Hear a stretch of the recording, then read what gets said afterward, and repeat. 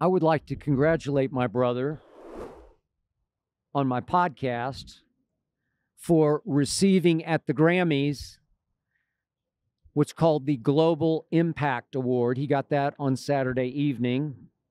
You can find the acceptance speech, I'm sure, easily on the internet. Please watch it as he pours his emotions out from his heart about what that award meant to him. And I'd also like to congratulate my brother Lil Wayne for stealing the show, in my humble estimation,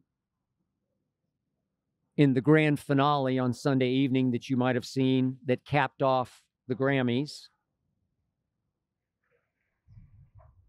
Lil Wayne doing his part of God Did. And a little behind the scenes point that he relayed to me.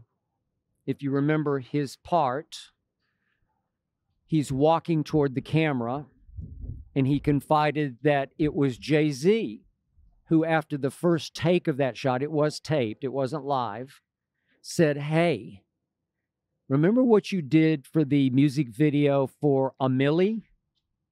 I said the other day on the podcast, A Milli is my all time favorite Wayne song. So it was interesting that Jay Z harked back to A Milli, which dropped in February of 2008. So it's a ways back, 15 odd years ago, 15 years ago. And Wayne said, Do what you did in A Milli in the video, which is walk toward the camera with, with so much energy, so much spirit, so much swagger. I mean, Wayne in the A Milli video is actually putting on clothes as he walks. So Wayne said, Gotcha. And here he came at the camera.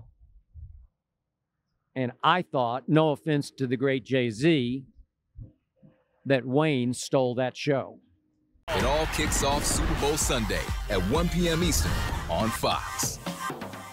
I hope you enjoyed that video. You ready for more? Make sure you click that subscribe button for all the exclusive content from The Skip Bayless Show. And don't forget to check out the full episode of the show wherever you get your podcasts by clicking the link in the description.